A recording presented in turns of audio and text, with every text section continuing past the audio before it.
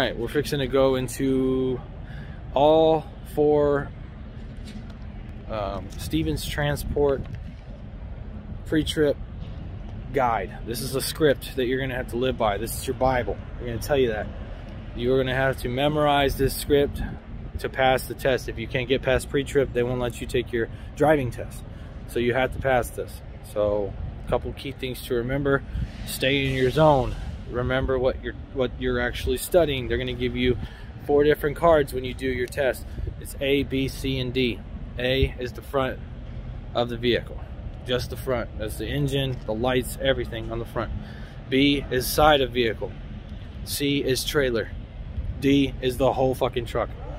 So just, bless you. So just make sure you know everything and you'll be all right. Also, you don't have to touch or get on your knees or anything. You literally are just doing the truck. You're pointing at stuff. Um, say the trailer like this truck right here. You'll be testing on a truck like that. It'll most likely be a, um, a Freightliner. Stevens Transport, verbatim, word for word, front of vehicle. There we go. I will check my clearance and marker lights to make sure they are clean and functional, also amber in color. The headlights are clean and working, both high and low beams. My left and right amber turn signals are clean and functioning. I would separately check the four-way flashers. They are operating properly in amber. My amber reflectors are clean and not damaged. I see no puddles on the ground. Just pulling this down now to inspect the engine. Thank you, sir. Alternator, belt driven, mounted securely. It is not damaged. This is a Kenworth, right? Yes. So it's the water pump is on this side. I think we're testing in a Freightliner, so it'll be on the other side, the driver's side. Water pump is belt driven and mounted securely. It is not damaged or leaking. Right in there. Air compressor is gear driven and mounted securely. It is not damaged or leaking air. The power steering pump is gear driven and mounted securely. It is not damaged or leaking. I'm looking for leaks on the side and side and bottom of the engine and transmission. There are no puddles on the ground. All the hoses in, are in good condition and not leaking with no abrasions, bumps, or cuts. The belts have no more than three quarters of an inch play. They're not cracked or frayed. This is the oil dipstick. I will check that the oil level is above the refill mark. The coolant is at the proper level. It is fuel and there are no leaks. This is the power steering fluid. It is above the refill mark and there are no leaks. Steering. The steering box is mounted securely and not leaking. I'm looking for any missing nuts or bolts. The power steering hoses are not leaking and have no abrasions, bumps, or cuts. On the steering linkage, all the connecting links, arms, and rods from the steering box to the wheel are not worn or cracked. I am checking that all joints and sockets are not worn or loose and that there are no missing castle nuts, bolts, or cotter keys. That's where those are at. Suspension. There are no missing or shifted, missing, shifted, or cracked or broken leaf springs. Both my front and back leaf spring mounts are not bent, broken, or cracked. There are no missing or damaged bushings. The U-bolts are not broken or loose, and they are not missing any nuts. Shock absorber is not loose, and it's not leaking. It's secure, there are no leaks. Brakes. The brake hose has no abrasions, bumps, or cuts. The hose couplings are not leaking any air. The brake chamber is not cracked, dented, or leaking, leaking air and is mounted securely. There are no loose or missing clamps. The slack adjuster is and push rod is not bent, broken, or cracked. There are no loose or missing parts. The push rod should not move more than one inch when pulled by hand with the brakes released. On the brake drum, there are no cracks, dents, or holes. There are no loose or missing bolts. I am checking for any oil or grease. The brake lining should not be worn dangerously thin. Wheels. The inside and outside of the rim is not damaged or bent. There are no welding repairs and bolt holes are not cracked or distorted.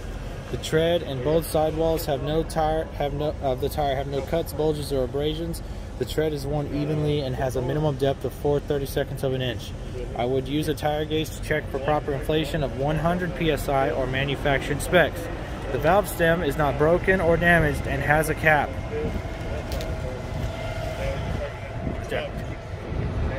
All the lug nuts are present, free of cracks and distortions and show no signs of looseness, such as rust trails or shiny threads.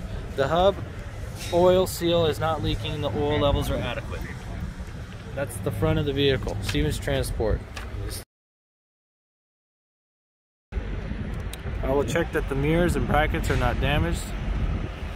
Mounted securely with no loose fittings. I will check the door is not damaged and that it opens and closes properly. Like so. Oh god damn it. Perform properly from the outside. The hinges should be secure with seals intact all the way around. Alright. The marker lights, left turn signal, and four-way flashers are clean and functional. They are also amber. I will check. I will also check the right signal. The DEF tank is secured. The cap is tight. There are no leaks from the tank or lines. Also, the level is adequate, at least one-eighth of a tank. The fuel tank is secure. The cap is on tight, and there are no leaks from the tanks or lines. Came to another truck to do uh, the inside because that one's on a trailer and it's hard to see. But the torque arm is not damaged and is mounted securely. It's that long bar going across right there. Spring mount is not bent, broken, or cracked. That's it right there. There are no damaged bushings, missing bolts. It is mounted securely. But the leaf spring is not bent, broken, or cracked. It is not shifted. The U-bolts are, are not broken or loose and are not missing any nuts. The airbag has no abrasions, bumps, or cuts. There are no air leaks and is securely mounted to the frame of the axle. The shock absorber is secure and there are no leaks. The brake hose has no abrasions, bumps, or cuts. The hose and couplings are not leaking air. Brake chamber is not cracked in it or leaking air. It is mounted securely and there are no loose or missing clamps. The slack adjuster and push rod is not bent, broken, or cracked. There are no loose or missing parts. The push rod should not move more than one inch when pulled by hand with the brakes released. On the brake drum, there are no cracks, dents, or holes. There are no loose or missing bolts. I am checking for any oil or gr grease. Brake linings should not be worn dangerously thin.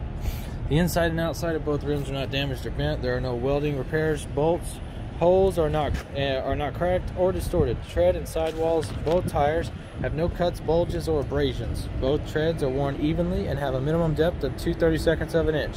I would use a tire gauge to prop, check for proper inflation of 100 psi man manufacturer specs on both tires. Both valve stems are not broken or damaged and have a cap. I will check the spacing between the tires for objects and the tires are not touching. I will check all lug nuts are present, free of cracks and distortions, and show no signs of looseness, such as rust trails or shiny threads. I'm checking the axle seals and make sure they are not leaking. Rear vehicle.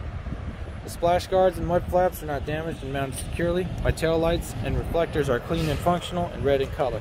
The left and right turn signals are clean and functional. The four-way flashers and brake lights are red and functioning. The back light is clean and functional. That's it.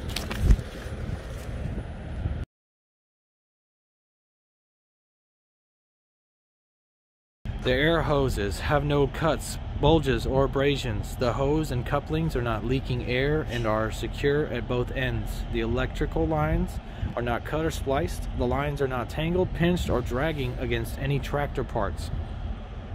The air and electrical connections are sealed and in good condition. The glad hands are locked in place and free of damage and leaks. The electric plug is firmly seated and locked in place on both ends. The catwalk is solid and clear of objects and securely bolted to the tractor frame. The steps leading to the cab and entry and the catwalk are solid and clear of objects and securely bolted to the tractor frame. The apron is not bent, cracked, or broken. The trailer is lying flat on the skid plate there's no visible gap. Well, that's what I'm talking about with the apron. It, the trailer would be on here, you wouldn't see any light at all between the skid plate and the apron. The, basically the bottom and top fifth wheel, you wouldn't see any air there.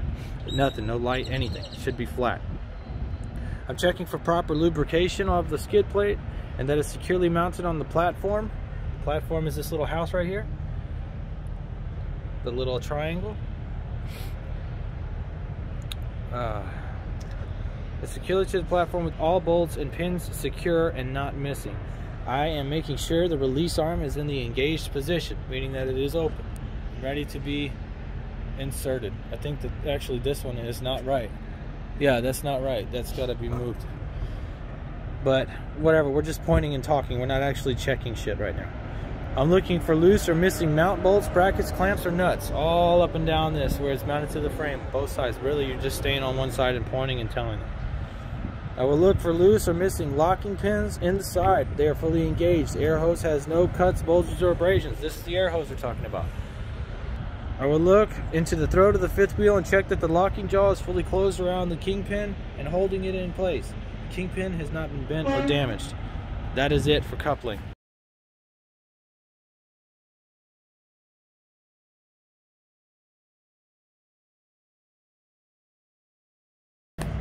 Front of trailer. We're gonna do trailer now.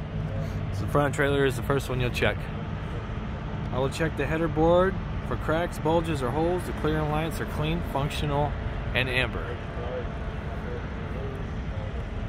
Side of trailer. All marker lights on the side are clean and functional. They are also amber. All reflective tape is good condition. Amber light reflectors are clean and not cracked. I will check the landing gear is fully raised with no missing parts and the support frame and pads are not damaged. The crank handle is secure. I am on the opposite side. The crank handle is on the driver's side. There's somebody else over there. Just keep that in mind. The frame and cross member and floor have no cracks, broken welds, holes, or other damage.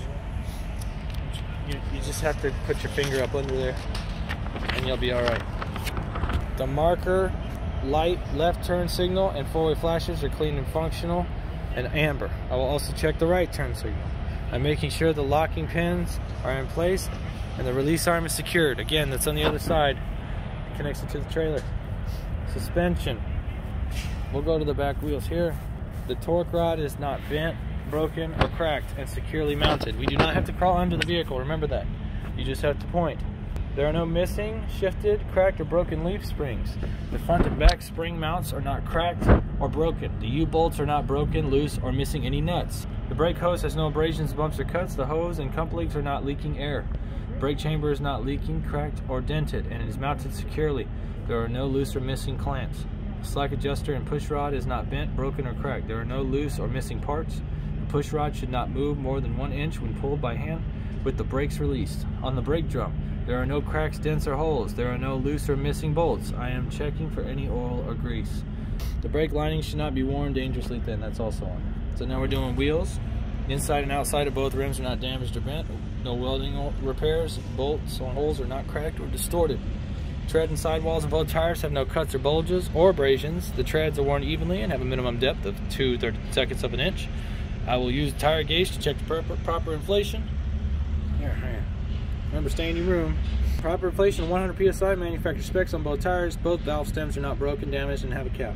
I would check the spacing between the tires for objects and the tires are not touching.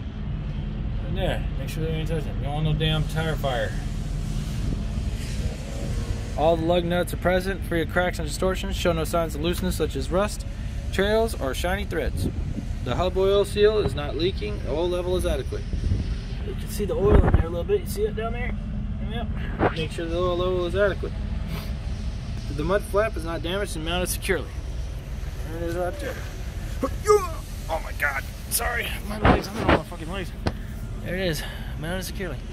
Rear of trailer. My tail lights and identification lights. The identification lights are the three lights on the bottom. Tail lights. And all marker lights. Well, there should be lights up there. There aren't, but go right here. Marker lights, right? Including the ones on the side and rear are clean and functional and red in color. Left and right turn signals are clean and functional. The four-way flashers and brake lights are functional. The reflective tape and red reflectors are in good condition. The left and right turn signals are clean and functional. The four-way flashers and brakes lights are functional. The reflective tape and red reflectors are in good condition. The door is not damaged. which this one kind of is, but whatever. We're just, you know, practicing. Door is not damaged. I am checking that the door opens and closes and latches properly.